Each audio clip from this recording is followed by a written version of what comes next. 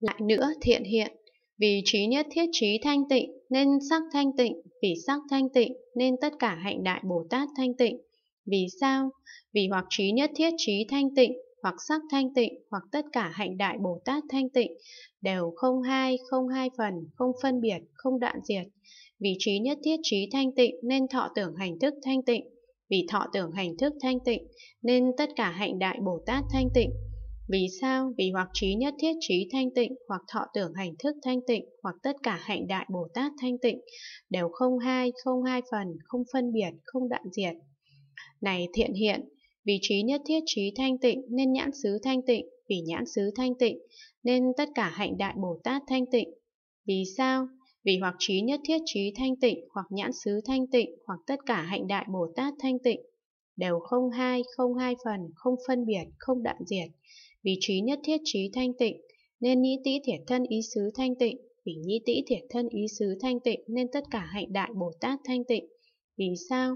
Vì hoặc trí nhất thiết trí thanh tịnh, hoặc nhĩ tĩ thiệt thân ý xứ thanh tịnh, hoặc tất cả hạnh đại Bồ Tát thanh tịnh, đều không hai, không hai phần, không phân biệt, không đoạn diệt. Này thiện hiện, vì trí nhất thiết trí thanh tịnh, nên sắc xứ thanh tịnh, vì sắc xứ thanh tịnh, nên tất cả hạnh đại Bồ Tát thanh tịnh. Vì sao? Vì hoặc trí nhất thiết trí thanh tịnh, hoặc sắc xứ thanh tịnh, hoặc tất cả hạnh đại Bồ Tát thanh tịnh, đều không hai, không hai phần, không phân biệt, không đoạn diệt.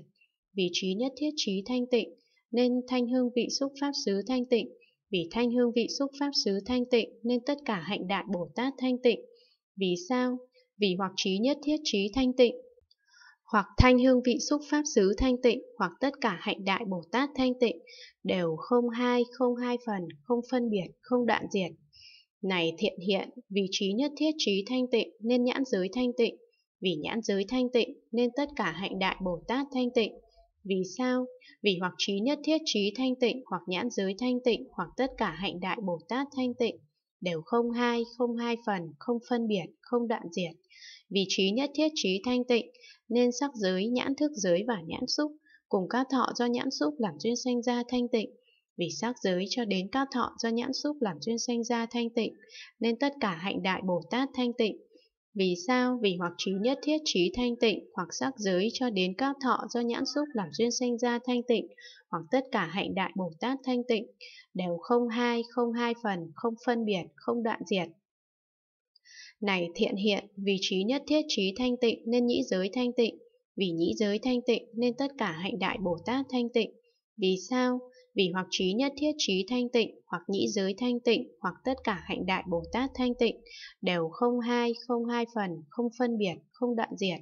Vì trí nhất thiết trí thanh tịnh, nên thanh giới, nhĩ thức giới và nhĩ xúc cùng các thọ do nhĩ xúc làm duyên sanh ra thanh tịnh, vì thanh giới cho đến các thọ do nhĩ xúc làm duyên sanh ra thanh tịnh, nên tất cả hạnh đại Bồ Tát thanh tịnh. Vì sao? Vì hoặc trí nhất thiết trí thanh tịnh, hoặc thanh giới cho đến các thọ do nhĩ xúc làm duyên sanh ra thanh tịnh, hoặc tất cả hạnh đại Bồ Tát thanh tịnh, đều không hai, không hai phần, không phân biệt, không đoạn diệt.